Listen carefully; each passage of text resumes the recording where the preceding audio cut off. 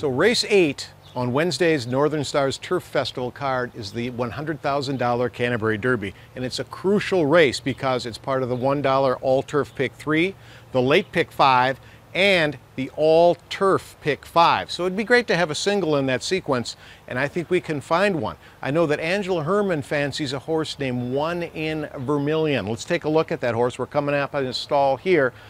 One in Vermilion will be ridden by Harry Hernandez. You can see him in his stall here. He looks good. It'll be his first time on the turf, but he's got the requisite speed that you need to win on this turf course. Let's see if we can get in touch with Angela Hermann. Well, your timing is excellent, Jeffrey. But if you are in search of a single with one in Vermilion, you got a lot of reasons to like him. He won his local debut. He's got a lot of back class. You saw him work over the turf with your own two eyes. Harry Hernandez gives the seal of approval for him trying out the grass. And with a scratch expected in the Canterbury Derby, one in Vermilion looks to be in the right place at the right time. It's not going to be much of a price, but there aren't too many better stops on this card when you go in search of a single. Gotta go. So if you're in search of a single, like I am, race eight, the Canterbury Derby, trainer Esteban Martinez, Harry Hernandez aboard, this guy, one in Vermilion.